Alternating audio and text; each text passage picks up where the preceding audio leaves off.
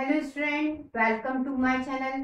आज मैं आपको पढ़ाऊँगी टिग्नोमेट्री चलिए शुरुआत करते हैं। आपको बेटा ये प्रूफ करना है। हम बेटा लेफ़्ट हैंड साइड लेंगे और राइट हैंड साइड बनाएँगे। आप ध्यान दो, यहाँ बेटा कॉस सी का फॉर्मूला लगेगा। सबसे पहले फॉर्मूले की बात करते हैं। यदि आप ध्यान देते हो तो कॉस सी के फॉर्मूले में यहाँ सी आ रहा है। एंगल सी है। तो बेटा फॉर्मूले में यहाँ माइनस सी स्क्वायर आता है। यहाँ जो एंगल होता है, वही बेटा यहाँ आ जाता है माइनस के साथ। ठीक है? इसी कॉन्सेप्ट पे हम बेटा अगला फॉर्मूला भी बनाएँगे। चलिए देखें किस तरह से।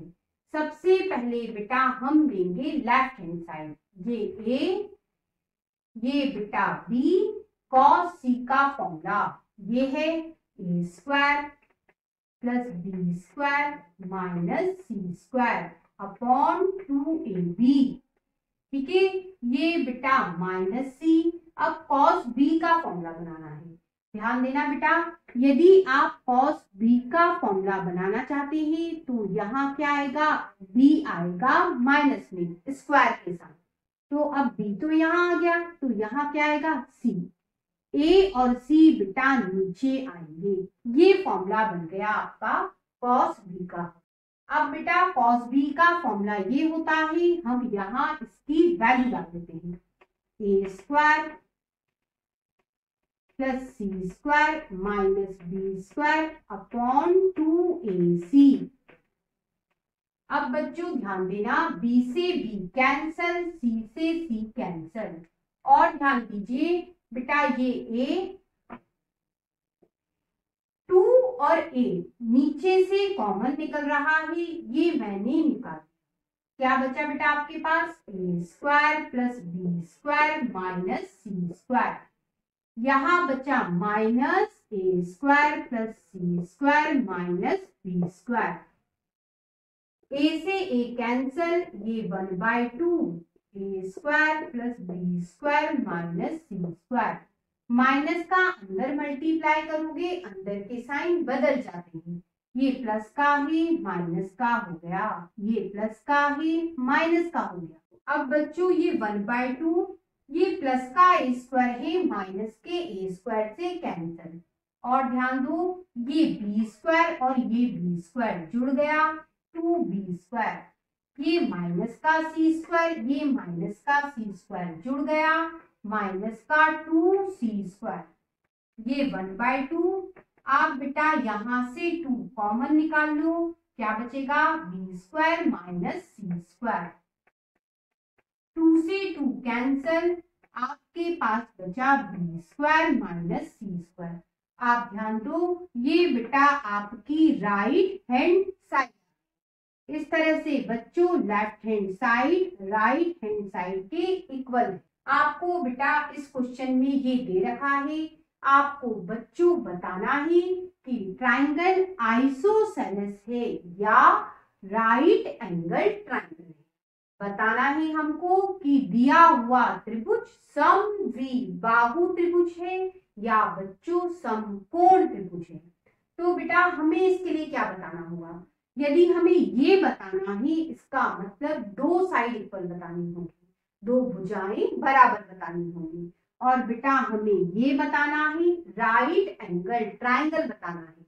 समकोण त्रिभुज बताना है तो पाइथागोरस थ्योरम प्रूफ करके बतानी होगी। चलिए शुरुआत करते हैं।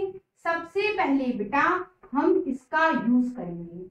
यहाँ बच्चों फॉर्मूले लगाएँगे। किसका? कॉस ए का फॉर्मूला वो होता है B square plus C square minus A square upon two B C लगा देते हैं। B square plus C square minus A square upon two B C ये बेटा बी यहाँ कॉस बी का भी फॉर्मूला लगेगा। तो बेटा कॉस बी का फॉर्मूला होता है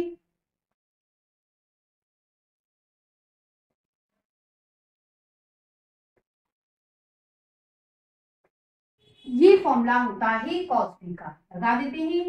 A square plus C square minus B square upon two A C अब बेटा दोनों में जो सेम है, वो कैंसिल हो जाए टू से टू कैंसल सी से सी कैंसल क्या बचा बेटा? इधर बचा A upon B B square plus C square minus A square यहाँ बचा बेटा B upon A A square plus C square minus B square ठीक है? अब बेटा क्रॉस मल्टीप्लाई कर देते हैं। ए में ए का मल्टीप्लाई करोगे ए स्क्वायर हो जाएगा। इधर से ए हट गया। बी में बी का मल्टीप्लाई करोगे बी स्क्वायर हो जाएगा। इधर से बी हट गया। क्रॉस मल्टीप्लाई हो गया।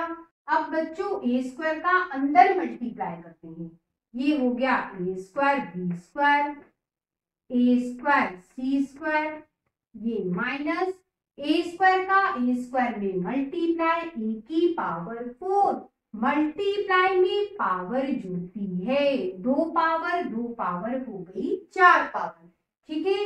इक्वल टू बी स्क्वायर का पूरे में multiply B square A square plus B square C square minus B square into B square D की पावर फोर। अब देखिए ये सेम है कैंसल हो गए। अब बच्चों, इसे मैं उधर ले जाती हूँ। यहाँ कुछ नहीं बचेगा ज़ीरो ये माइनस का ए की पावर फोर है, उधर गया प्लस का। ये प्लस का ए स्क्वायर सी स्क्वायर है, उधर गया माइनस का। अब ये लिख लेते हैं B square C square B की पावर फोर, माइनस के साथ। अब बेटा ये ज़ीरो, इन दोनों को बेटा आप लिख सकते हो A square minus B square A square plus B square कैसे? बेटा इसका ये फॉर्मूला है, ठीक है? आइडेंटिटी से। अब बच्चों, आप इन दोनों में से सी स्क्वायर कॉमन निकाल सकते हैं। निकाल देते हैं।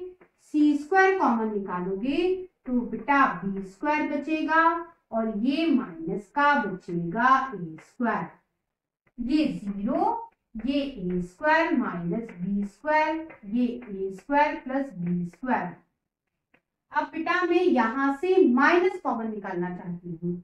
ये मैंने माइनस कॉमन निकाला तो बेटा इनके साइन बदल जाते हैं। ये माइनस का ही प्लस का हो गया, ये प्लस का ही माइनस का हो गया। अब बेटा ध्यान देना, दोनों में बेटा ये कॉमन है कॉमन निकाल देते हैं। A square minus B square common क्या बचा बेटा? आपके पास बचा A square plus B square और माइनस सी स्क्वायर बचा। अब बच्चों, पहला फैक्टर ज़ीरो करते हैं। किसको? A square minus B square equal to zero तो ए स्क्वायर इक्वल टू क्या हो गया? बी स्क्वायर स्क्वायर से square cancel A equal to क्या आया? बी। ठीक है? अब बेटा a इक्वल टू बी आया। किसी ट्राइंगल में यदि दो साइड इक्वल आ गई तो हम उसे क्या कह देते हैं? आइसोसेलेस ट्राइंगल सम बाहु त्रिभुज कह देते हैं। अब बेटा ये फैक्टर भी तो ज़ीरो हो सकता है। तो और लगा देते हैं। A square plus B square minus C square equal to zero करा। दूसरा फैक्टर भी ज़ीरो करा। ये माइनस का सी स्क्वायर है, उधर ले जाओगे, प्लस का हो गया। और बेटा ध्यान दो, ये पाइथागोरस थ्योरम को बता रहा है। कैसे? आप जानते हो, परपेंडिकुलर का स्क्वायर प्लस बेस का स्क्वायर इक्वल टू हाइपोटेनियस का स्क्वायर होता है। हिंदी में बच्चों, लंब का वर्ग, धन आधार का वर्ग बराबर पर्ण का वर्ग।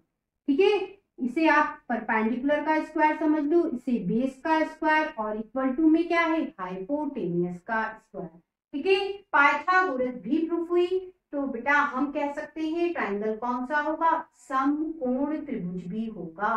राइट एंगल ट्राइंगल भी होगा। और यही हमें प्रूफ करना था।